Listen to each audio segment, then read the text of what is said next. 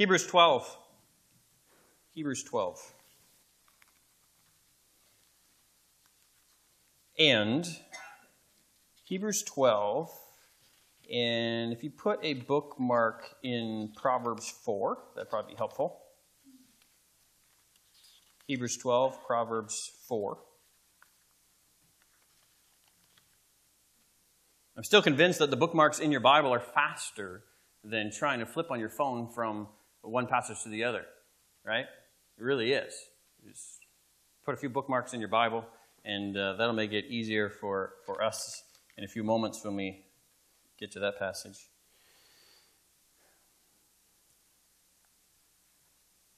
Question Do you have any difficulties in your life presently? Struggles? Is there anything, any pressures in your life currently um, that you have found are making your spiritual life more difficult? Um, or we could say, is, are there any pressures or struggles, um, worries, anxieties in your life presently that um, maybe are making your personal spiritual life difficult, um, even to the point where maybe it does not even enter into your mind about how you can be a help to others because your personal struggles have caused you be, to become very self focused? Uh, could, could, that be an accurate description of, of, where you are at in your life now? Uh, all of us, to a certain degree, have that. We live in a culture that is corrupted by sin. The Bible says all creation groans and travails, you know, as, under the curse of sin. And we ourselves are sinners, so we have the external pressures and the internal pressures constantly. Um, and there's a temptation, because of the struggles of this life, to become incredibly self focused to the point where we become really useless uh, as far as having an impact in the lives of others this is important for us to consider because as we've been learning on Sunday nights, and as we as a church have decided that, you know what, we want to be equipped. We want to be better equipped to do spiritual good in the lives of others uh, for their sanctification. And uh, so we've been embarking upon that. And we've really taken on some, some personal training as far as how we can uh, counsel and help others. And so this is an essential question because if we as a church are concerned about our church culture, if we desire to be vessels and instruments used for others, we need to learn how to rear up under the pressures of this life with a willingness and an ability to help others even while things are difficult for us. It's very easy for us to exempt ourselves and to say, well, how in the world can any reasonable person expect me to be concerned about others when I'm going through this? How can anybody expect me to be useful for others or to encourage others in their spiritual life when I'm struggling in this area? And, and so there's, there's the constant pressure because this life is broken. We are broken, and so there's always pressures, and there will never be a time where we can say to ourselves, you know what, when things start going easy, then I'll start thinking about helping other people. We find the Hebrews experiencing just such a struggle.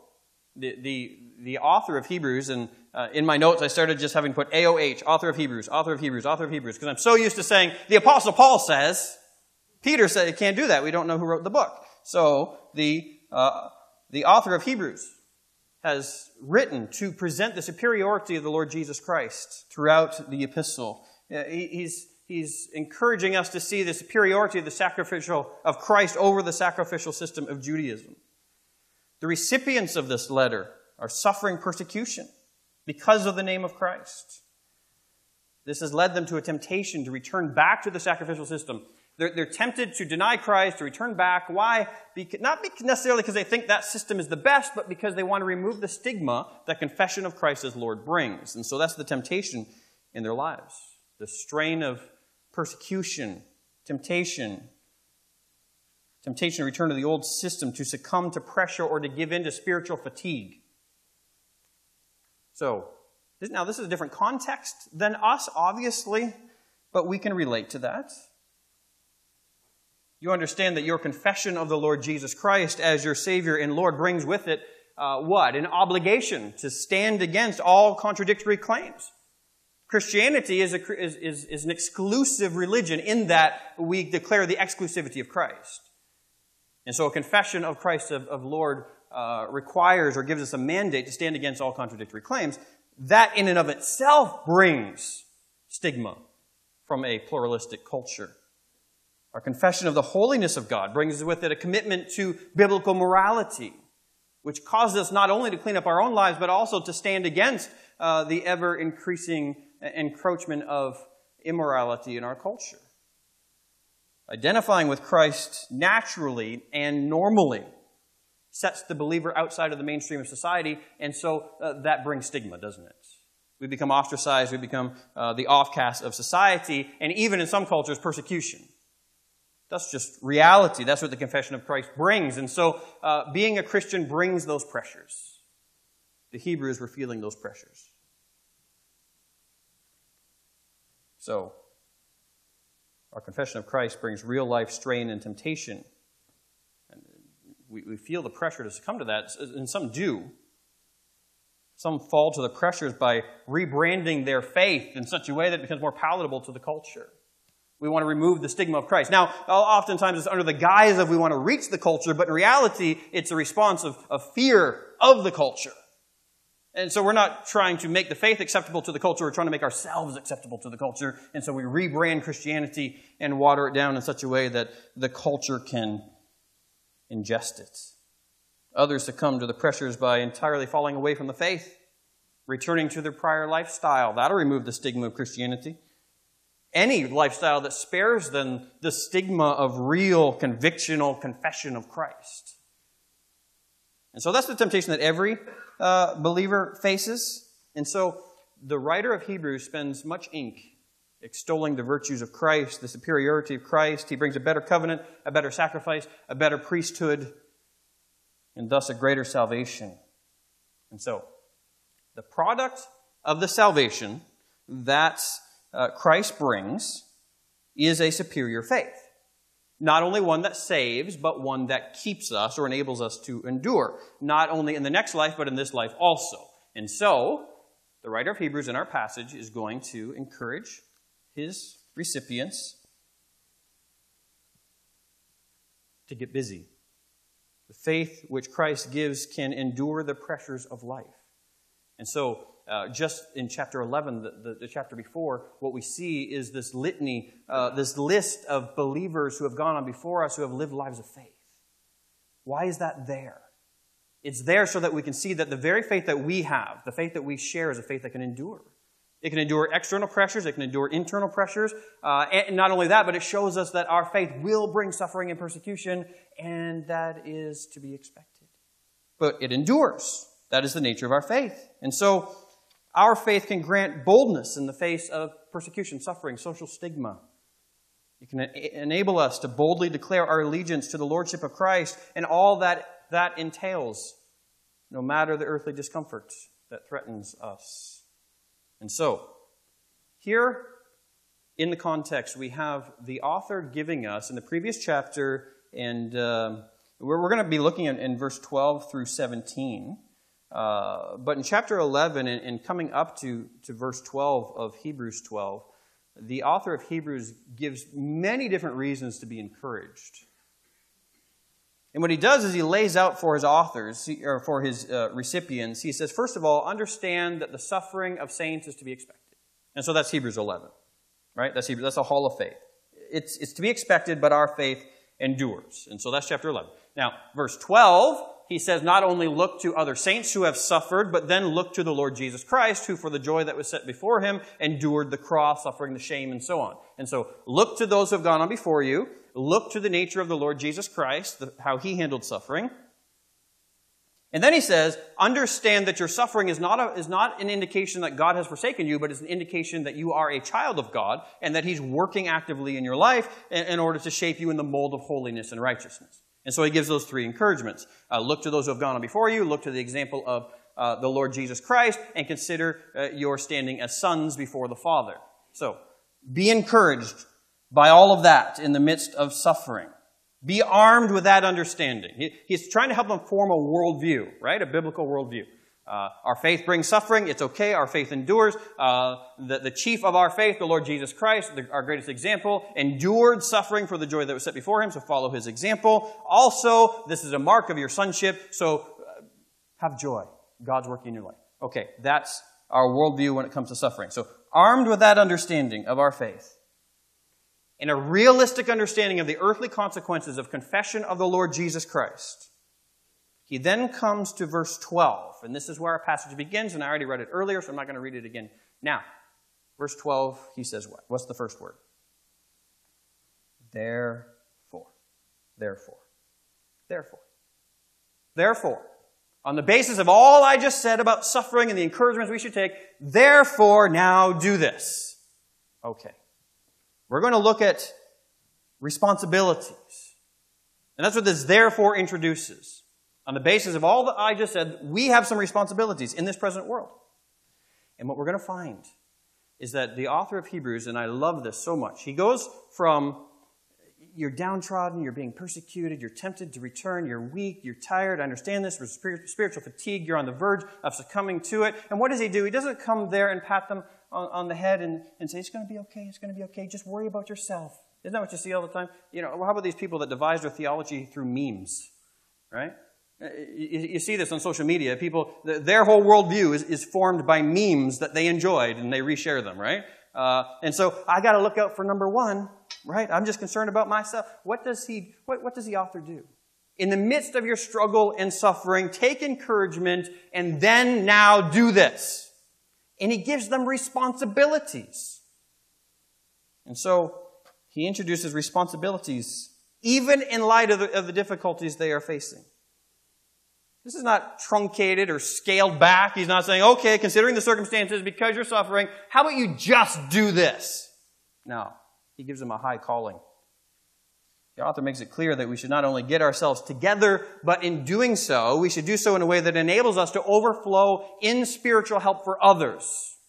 That's what we're going to see. We're not going to finish it today. Not even close. I tried. We're not going to do it. His expectation is that every believer make personal spiritual progress so that they can live selflessly for others, even in the midst of suffering. Because get it straight, the suffering's not going anywhere. That's the nature of this life. That's what makes us say, Your kingdom come, right? And so, he gives us some responsibilities. We're going to look at them under three headings. We might get to two today. We're going to look at these responsibilities under the headings of strengthen, verse 12 and 13, strive, verse 14, and oversee, verse 15.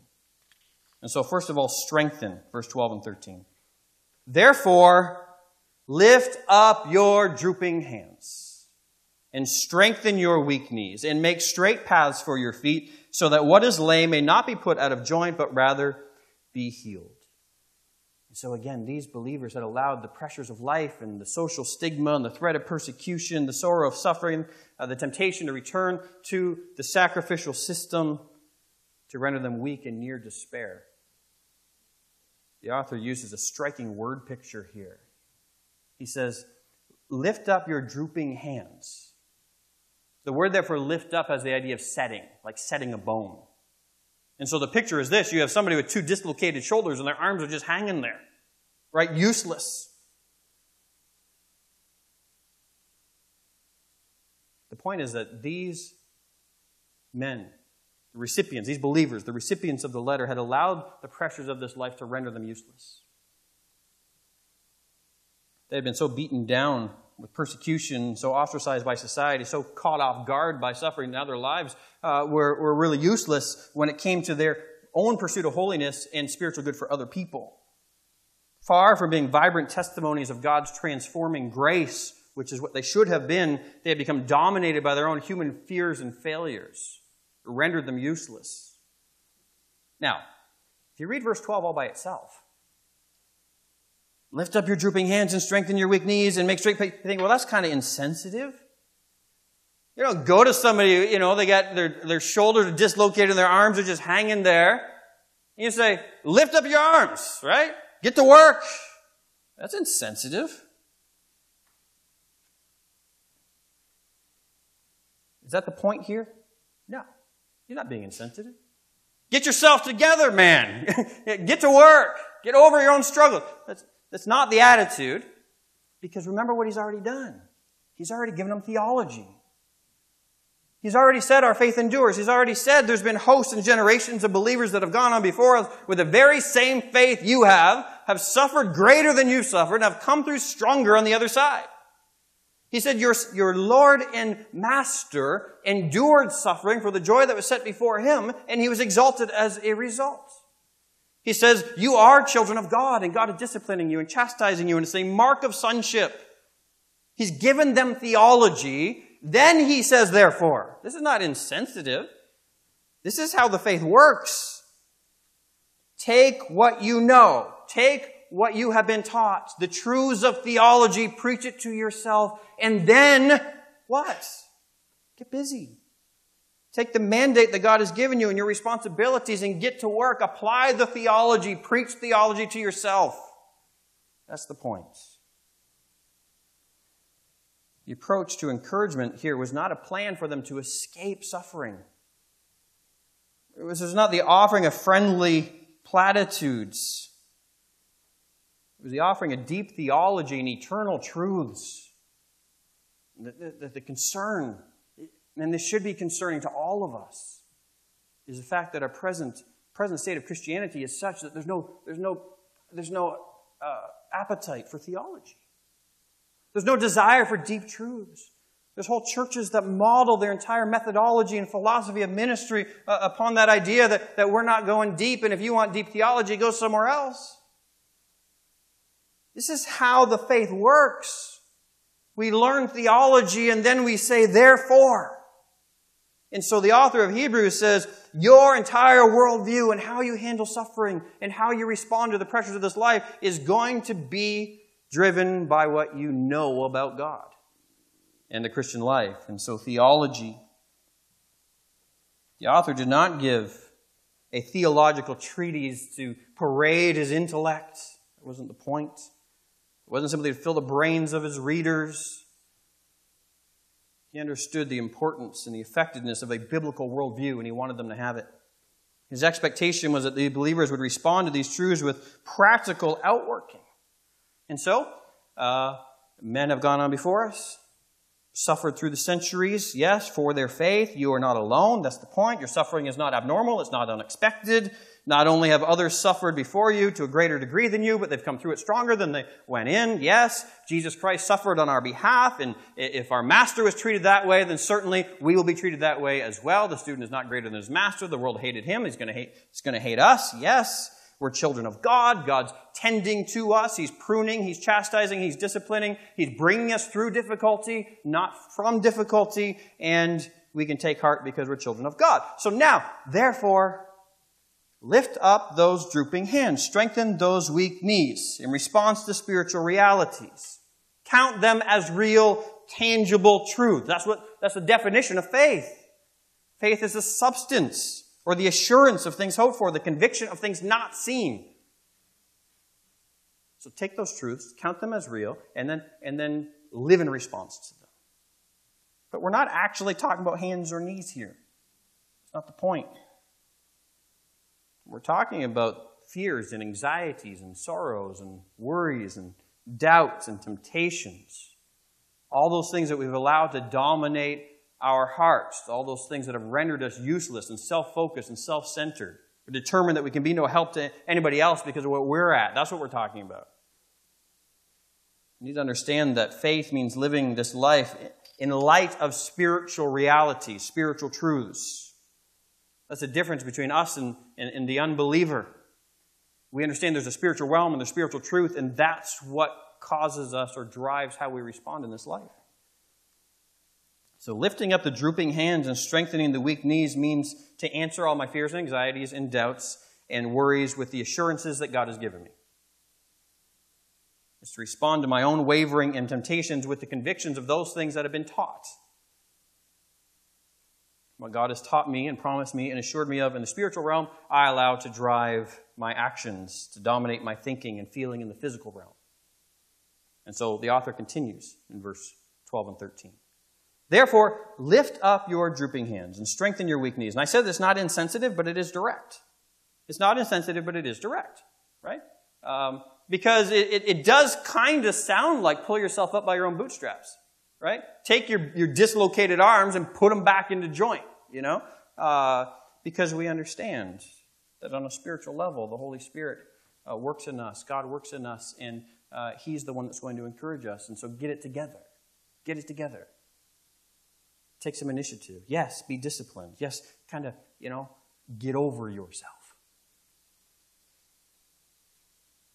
And so he continues Lift up your dripping hands and strengthen your weak knees, and make straight paths for your feet. Make straight paths for your feet. Now, in the previous chapter, the author started using a race analogy.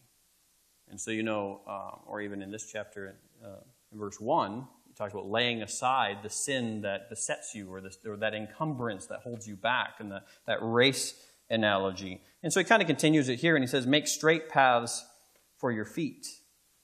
He's saying, once you have set your joints and strengthened yourself, then set out upon a determined, consistent course without deviating from it. Set out on a consistent, determined course without deviating from it. So, more than just lick your wounds in the midst of suffering, uh, more than that, it's okay, now get up and go. Get to work. No more going astray. No more deviating from the faith. No more succumbing to pressure. No more vacillating. Uh, no more on again, off again with your faith. No more half hearted devotion. That's the idea. No more sidelined by persistent habitual sin. No more domination by fear or doubt or worry. No more shrinking in fear from those around you. But strengthen yourself. Set your course. Remove any encumbrance and walk the faithful, enduring Christian life until the end. So that you can say, like Paul, I've run my course. I fought a good fight. I finished the race. I've kept the faith. That's the idea. But again, I hope I don't have to qualify it, but I'm going to anyway. We understand that this happens not simply through self determination and self effort, but through the means of grace. The writer seems to be alluding to a similar encouragement that we find in Proverbs 4. And so look at Proverbs 4. So the author of Hebrews says, Make straight paths for your feet. And again, I, it seems as if he's alluding to Proverbs 4, so we're going to read Proverbs 4. And so in Proverbs 4, we have instructions for the young person. And here's the thing we, we cannot ignore the reality that the Christian faith is presented to us, oftentimes in the context of farmer, athlete, soldier, and, and even the young man. The idea being that the Christian life does require energy, it requires discipline. It, it, it, requires effort. It requires labor. It requires sweat. It, that, that's all true. And, and so, uh, as much as I, I, want to say this is not a matter of pulling ourselves up by our own bootstraps and just saying, oh, just be disciplined and get to work. Uh, the reality is, however, that because of the nature of our bodies and our nature and the internal and external pressures, there is work. We have to be watchful. We have to be on guard. We have to be self disciplined and so on. And we're going to see that in Proverbs 4. This is written to a young man, encouraging him in the faith. In Proverbs 4:20 it says, "My son, be attentive to my words. Incline your ear to my sayings. Let them not escape from your sight. Keep them within your heart. For they are life to those who find them and healing to all their flesh." Keep your heart with all vigilance, for from it flow the springs of life. Put away from you crooked speech, and put devious talk far from you. Let your eyes look directly forward, and your gaze be straight before you. Ponder the path of your feet, then all your ways will be sure. Do not swerve to the right or to the left. Turn your foot away from evil. So that's the idea. As you make a straight path, you walk the straight path, you don't deviate from the left or to the right, and you keep good watch on where you are stepping. And so you can look at Proverbs chapter 4 and do look at it.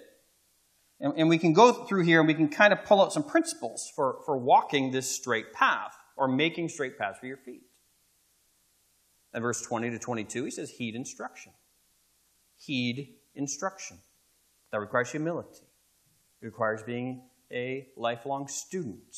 Heed instruction. Be humble. Receive teaching with meekness. Heed instruction. Verse 23 Keep your heart with all vigilance. So guard your heart. Why? Because it's, it's from the heart that flows all the issues of life.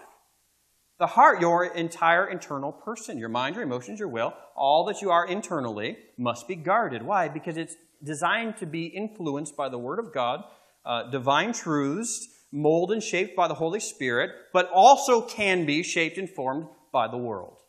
And so guard your hearts. Heed instruction. Allow that instruction to penetrate so that it molds and shapes your internal person. It develops your worldview. It, it drives your mind, your emotions, and your will. And then guard that, right? Heed instruction. Guard your heart. Verse 24. Control your mouth. Put away from you crooked speech and put devious talk far from you. You think, well, that's kind of out of place. I mean, that seems kind of superficial. That seems kind of like, you know, uh, just kind of thrown in there. There's very practical uh, um, lesson there. Control your mouth. Watch what you say. Why would he say that? Because what comes out of our mouth is indicative of what's in the heart. And so if we're concerned about guarding the heart, and then all of a sudden this is coming out of our mouth, we realize I haven't been guarding my heart very well, have I? It's out of the abundance of the heart that the mouth speaks. And so heed instruction, guard your heart, control your mouth. Verse 25. that your eyes look directly forward and your gaze be straight before you. Set your path. Be determined. Single minded. This one thing I do. I press towards the mark, to the high calling, right? I mean, th- this is my single minded devotion. Jesus Christ above all. So set your path. I know what God would have me to do, and my life is determined to see that through. You set your path. And then, verse 26, ponder the path of your feet, then all your ways will be sure. Watch your step. Set your path, watch your step. I know where God wants me to go. I know what His will is for me, so I better watch how I walk. If this is the path, then I know that this is going to be unhelpful for me. If I deviate this way, that's going to be unhelpful. If I deviate that way, that's going to be unhelpful. Uh, and so I know what God wants me to do, so I'm going to watch my step. Simple enough. Set your path, watch your step. Verse 27 Do not swerve to the right or to the left, turn your foot away from evil. Stay the course. Stay the course. Set your path, watch your step, stay the course. This is, this is endurance, this is faithfulness, this is perseverance. And so the writer of Hebrews says, make straight paths for your feet. The illusion being, hey, heed instruction, guard your heart, control your mouth, set your path, watch your step, and stay the course. It's determination. It's clarity, understanding what God would have of us and then sticking to it. Deliberate faithfulness, which requires personal discipline and watchfulness. Oh, and then you say, man, that's easier said than done. That's easier said than done. That doesn't, such determination doesn't all of a sudden make my struggle disappear. It doesn't all of a sudden make my insecurities disappear. And you're right. So what do we learn? The battle of enduring faithfulness always takes place within the context of personal struggle.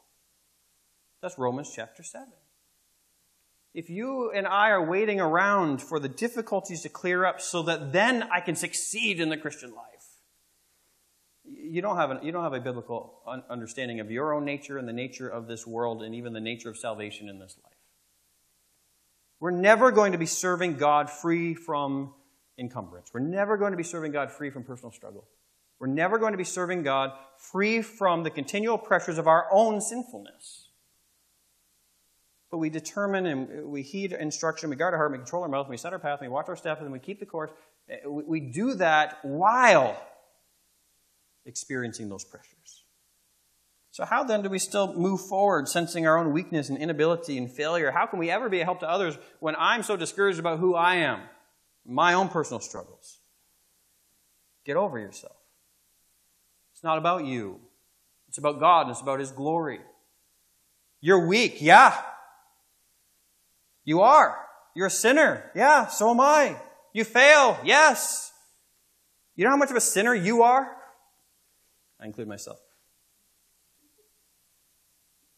Even the confession of your sin is tainted by sin.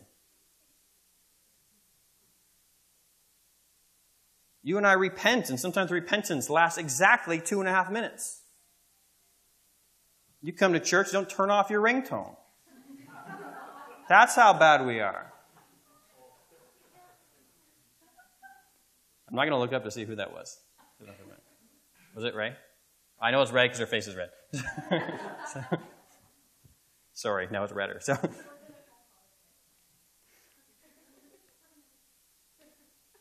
How can we be a help to others when we are overcome with our own sense of inferiority and our own struggles, our own keen awareness of our spiritual struggles?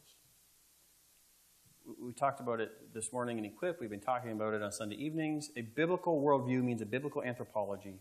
You're a sinner, I'm a sinner. The world is constantly pressuring us with sin and temptation, and we fall short. What is God asking from us? God is not asking for a sinful perfection so that then we can go and help others.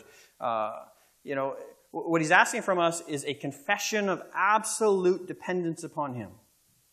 He's asking of us uh, repentance, yes. A pursuit of holiness, yes. We'll see that later on in the passage. But ultimately, what he's asking of us is an absolute or a confession of absolute dependence upon Him. Lord, you know who I am. You know I'm weak. You know I'm frail. You know I don't feel able to do this. And you think I'm not preaching or teaching something new here. This is the story of every character that God uses from Genesis uh, to the end. Isn't that what Moses did before God could use him? I'm so weak. I can't speak. David, key figure in all of Israel's history. And, and who is he? What do we know him for? We Psalm 51 gives into his own lusts. I mean, he's a guy who didn't have his own sensuality under control, apparently, at, at times of his life. Publicly confesses. We have inspired scripture, Psalm 51, of him confessing his inability and his dependence upon God and his need for forgiveness. Yeah. You think God wants you to be better than David before you can help others? God wants you to be better than Moses before you can help others? Absolutely not. He wants you to have the same confession of dependency. Lord, I'm frail, I'm weak, I can't do it in and of myself, but I want to be used of you, so forgive me, help me to pursue holiness, set out upon that, fa- uh, that path, and then be used of God. Look at the remainder of verse 13. Make straight paths for your feet. And I think this is where this gets really exciting. Verse 13 Make straight paths for your feet, so that isn't that exciting? So that. For what purpose? What is lame may not be put out of joint, but rather be healed. Here's a motivation for you. This is a mandate. And that's why I say that God, and I'm not trying to be flippant when I say things like get over yourself. I'm not saying get over yourself as far as, oh, you have such a high view of yourself. You need to get over your low view of self. Not because you're anything, but because God wants to use your nothingness for His glory. So, so stop focusing on yourself, either exalting yourself or, or being self deprecating. Either way, you're focusing on yourself. Get over yourself. God wants to use you as a vessel. And so here's a mandate get yourself together, uh, strengthen, lift up the dripping hands, strengthen the weak knees, set your path, be determined, so that others, what is lame may not be put out of joint, but rather be healed. He wants us to know that there's much more resting upon the, our personal faithfulness than just our personal lives. The author wants us to know that we've set our own spiritual life in order because we have responsibility to others, especially those who are weaker than us. That's the idea.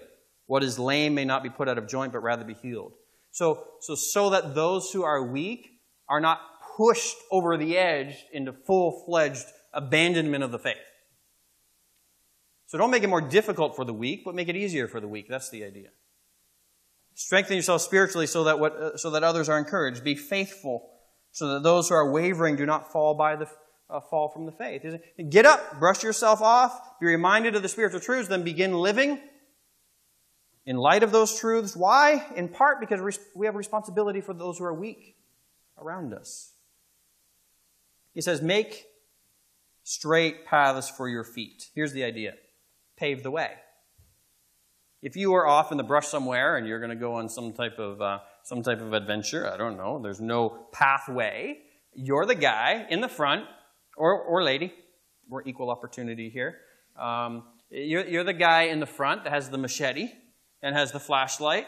You're, you're the one who's trampling down uh, the weeds and is hacking off the brush. You're the one who's clearing the stones out of the way and lifting those logs and clearing the pathway. You're the one who has the willingness uh, to, to suffer that discomfort, to put forth that extra effort. Why? You're making straight paths for yourself so that those who are weaker than you can come along behind you and have an easier pathway than what you had. That's the concept. That's the idea. Remove obstacles. Make the path clear. Make the path for yourself and then clear it so that others can come behind you. Be willing to do the hard work of hacking through the brush and clearing the boulders, trampling down the bumps so they can be easy for others, for those who are weaker. Listen. Be willing to take on the difficulty of life in order to make it easier for others. Do, do we have a situation where, where the vast majority of Christians are, are simply floundering in their Christian life? Ineffectual, unable, useless because they're so encumbered by their own sin and their own lust and their own self focus? The picture here is the idea, and, this is for everybody. The, the idea is that we get up and say, No, it's my responsibility to take the arrows. It's my responsibility to put forth the effort. Because I have to be concerned about others. Be willing to take the lead so that others are emboldened to follow. Now, we have a couple problems. One, sometimes we are so encumbered with our own sinfulness and self focus that we're useless. But then sadly, some of us also, we're, we're not busy removing obstacles for others, but we ourselves become a stumbling block to others. Romans 14 and 1 Corinthians 8, in both of those passages, they're, they're, they're both warnings from Paul. He warns believers not to become a stumbling block to others. And so you get the same picture. Instead of removing obstacles for others, we ourselves become the obstacles. So Romans 14, 13 says, Therefore, let us not pass judgment on another any longer, but rather decide never to put a stumbling block or hindrance in the way of a brother. 1 Corinthians 8 9, he says, But take care that this right of yours does not somehow become a stumbling block to the weak. Okay, you see parallels here. It's concern for the weak. Don't be a stumbling block to the weak. Now, the context of both 1 Corinthians 8 and Romans 14 is very similar. Both contexts are that of Christians, believers, who are um, taking it upon themselves as a right their exercise of their Christian liberty. Now, the context is that of eating meat offered to idols and so on. We don't need to go into that context. But, bottom line, Christians are taking upon themselves as a right. You can't take this away from me because we're very Western when it comes to rights. You cannot take this away from me. I'm entitled to this, and you just need to deal with me as I exercise my rights. They're taking upon themselves as a right the exercise of their Christian liberty. And so you can't tell me this is wrong, therefore I'm going to do it because it's my right with no care for how it's received by others.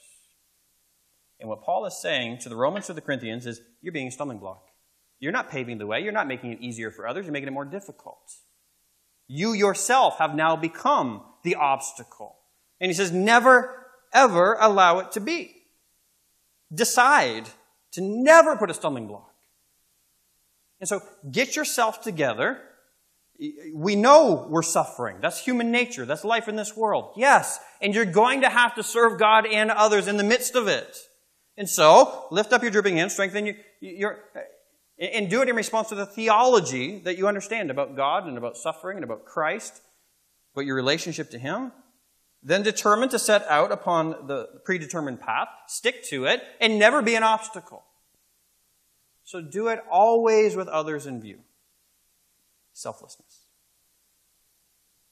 Whereas God has called us to actively pursue the well being of one another through a willingness to lead through self denial and self discipline, we often uh, gravitate towards self indulgence, despite the needs of others. Whereas God called us, has called us to pave the way, clearing obstacles and setting an example, we often become an obstacle through the, our lack of example or our indulgence in Christian liberty with no care for how it's received by others. Bottom line is we have an obligation to others. Say obligation? Yes. It's a strong word, isn't it? We don't like obligation. We don't like mandate. We don't like to be told what to do. I said that we're very Western in our desire for rights. We're also very Western when it comes to personal autonomy and individualism. It's not, uh, don't put your Westernness uh, above your Christianness. They're incompatible in, in, in some areas, and this is one of them. We're to live selflessly for others. We have an obligation to others, even the denial of personal rights. Romans 15:1. We who are strong have an obligation to bear with the failings of the weak and not to please ourselves. Let each of us please his neighbor for his good to build him up. You know what I'm yet to find in Scripture? It may be there, and you can tell me after if it is. I'm yet to find a passage where weak believers are enabled to identify themselves as weak. And what I mean by that is I don't think there's any room for somebody walking through the church or in the body of believers and say, Well, I'm one of those weak Christians. I don't think it's something we identify our, ourselves. And so a passage like Romans 15:1 that says, "We who are strong have an obligation to bear, bear the failings of the weak," is written to everybody. Because we're all to be aspiring for the strength and to assume that position and to begin to live our lives selflessly for others as if we are the strong ones. Now, the strong ones can identify the weak, but the weaks cannot identify themselves as weak. There should be no professionally weak brothers. Well, you can't do that because I'm weak. I don't see that in, in, anywhere in Scripture, but we do have those who should be able to recognize and say, you know, that's somebody who's struggling. That's somebody who's, who's weaker, who, whose conscience has not yet been fully formed by Scripture. They don't have a, a fully formed biblical worldview. And because of that, I'm going to watch what I do. I'm going to limit my liberty for their sake because I recognize they're weak. That's how it works. But even the weak one is being preached to by Paul, saying, hey, you ought to be strong and you ought to be living so that your life is not an obstacle to those who are weaker. So, we have an obligation to others. Yes, even you. Even me, even in the midst of your suffering and struggles. So we accept ourselves. We make exemptions. Or my weakness, my inability, my environment, my circumstances. Hey, earlier in the book of Hebrews, the writer says to everybody, saying, You ought to be teachers already. You ought to be teachers already. That's the expectation of everybody. There are no exemptions. Paul was a former persecutor. He had physical ailments, suffered much opposition. I don't know what his, his problem was when it came to uh, his health. It probably has something to do with his eyes. I can relate to that. Uh, to the point where he says to, to, to, one church, You're willing to gouge out your eyes and give them to me. Uh, Timothy, he, he, had a, he had a different upbringing. He was raised by his mother and his grandmother. We don't know anything about his father, except that his father was a Gentile. Timothy struggled with timidity. He was very shy. He, he, his, his boldness was wavering in the midst of uh, struggle, so Paul had to encourage him. So, so Paul had a, had a history to live down as a persecutor. Paul had his own physical ailments. Paul always had opposition. Was he sidelined? Absolutely not.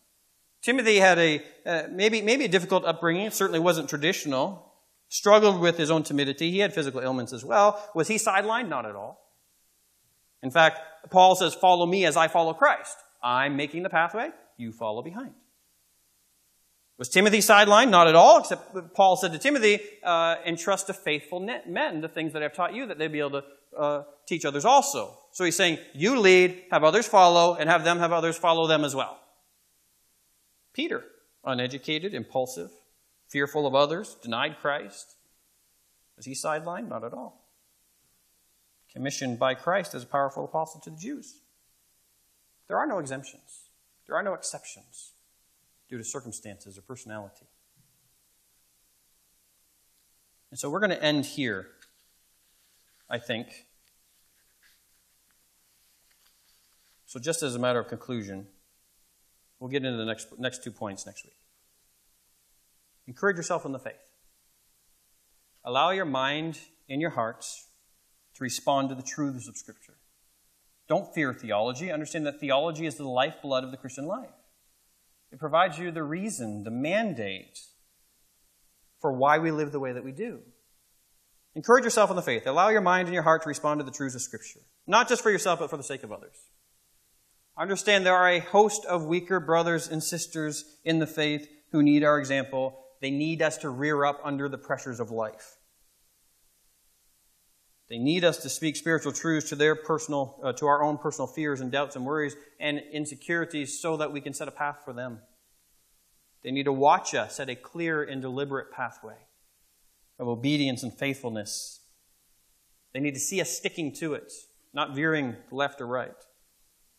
More than that, they need us to be willing to pave the way to lead them so it can become easier for them to follow. So, the believer who has preached the realities of suffering and sonship to himself has determined to follow Christ with single minded devotion in the midst of a difficult world. Now, let me ask you some questions in closing. Have you allowed the pressures of life to sideline you in the pursuit of personal holiness? And the balance of the passage deals with pursuing holiness. We'll get to that next week. Have you allowed the pressures of this life to sideline you in the pursuit of holiness? Have you allowed the pressures of your personal life to sideline you in your effectiveness in helping others for their spiritual good? Have you allowed the social stigma that comes with identifying with Christ to silence your testimony of Christ? Have you fallen prey to the temptation to uh, rebrand your Christianity to be more palatable to the culture in the name of reaching and not offending the culture, and really you're hiding behind that because you don't want the stigma that comes with a clear convictional confession of Christ? Have you convinced yourself that you are exempt from the vibrant, active pursuit of spiritual formation because your personal situation is too difficult? Have you become spiritually depressed by giving into doubts regarding God's loving care in the midst of your suffering? Have you given into self centeredness, self focus, or self pampering in light of your personal struggles and disappointments? Have you been effectively neutralized in being an example and encouragement to others because of your weak spiritual state? Have you failed to live a life of determined conviction, setting a path for your life which you, uh, on which you heed instruction, guard your heart, control your mouth, watch your step, and stay the course? Have you lived a life of indulgence in sin with disregard for the fact that it can cause fellow believers to stumble? Have you lived a life of free indulgence in Christian liberty without concern for how it affects weaker brothers? Have you allowed bitterness, jealousy, and selfishness to destroy peace and disrupt holiness? We'll see that next week. Have you failed to make every effort to pursue peace with all men, fellow church members, believers not in your circle, and unbelievers, uh, and even enemies. We'll see that next week, too. Have you made it your highest priority to seek the holiness of God without which no one will see the Lord? That's the bottom line.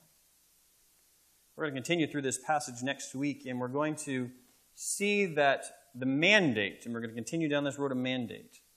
The mandate for us, even in the midst of this life, even in the midst of personal suffering, is, is not only to set an example for others, but is to actively seek to encourage others so that, here's, here's my view of ministry. We wanted to pursue our own personal sanctification, right? I want to do as much as I can with all I've been given uh, for the glory of God while I await Christ's return, right? That's what I'm doing. That's my personal, that's my path that I'm following. Okay. Our responsibility then is to do as much spiritual good for others as we can to encourage them in their own endurance and perseverance so that they make it to the end right along with us. Right? So that's our responsibility. And we're going to see how that plays out in Hebrews chapter 12 next week, and then we're going to see Hebrews chapter 3 as well. We're going to continue to apply these. And in the coming weeks, we're going to continue down this pathway, and we're going to help try to form a culture with, within our church, help to shape our thinking in such a way that every member can feel themselves a minister of good, spiritual good for others uh, in the body. That's the vision. I hope you catch it. Let's pray. Dear Lord, we thank you for your word and that you've given us a faith which enables us to endure our own suffering. I think we live in a culture that has an overemphasis on victimology, the idea that I am a victim, and because I'm a victim, I'm entitled because I'm a victim of others, and because I'm entitled, I look at others as perpetrators, I look at others as owing me, instead of, look at, instead of looking at others as those who are to be served by me and influenced by my good example. Lord, help us to ensure that we have a biblical worldview, a biblical understanding of suffering and sin, and what life in this world is, is to look like. Uh, Help us to understand that difficulty is here to stay as long as we are short of glorification. And then help us in the midst of this to pursue not only our personal holiness and sanctification, but to do it with an eye on others understanding we have responsibility. Our suffering should never neutralize us to, to the point where we're useless. It should never cause us to be so, so, self focused or self centered or self pampering that uh, we've forgotten about the needs of other believers. So, Lord, help us to be effective tools in your hand to be used for the spiritual advancement, not only of ourselves, but others. Help us to seek to encourage, to bless, to be an example to those around us. I pray that that determination and conviction would characterize every aspect of our lives. So, Lord, I pray you start with me, and I pray that you will help us at Calvary Baptist Church develop such a culture. I pray that every one of us would understand the mandate that we have to help others. And again, I just pray you develop that culture within us and help us to protect it. And I pray that many could come, be saved, grow, mature in the faith, become vibrant, thriving disciples, enduring to the end. Lord, we thank you for this. We, we praise you for your grace and for your mercy. Um, we thank you especially that you understand our frailty. You understand our weaknesses. Um, we don't need to hide those things from you. We don't need to pretend they don't exist. We don't need to go about life in self effort. We just come to you and confess it, seeking your help. So, Lord, we thank you for that comfort, uh, that you know that we're but dust. Uh, you're sympathetic to our weaknesses. We thank you for this. We pray that you'd use our weaknesses for your glory and uh, help us to be effective uh, as we pursue your kingdom. We thank you for all of this in the name of the Lord Jesus Christ, who's made it all possible. Amen.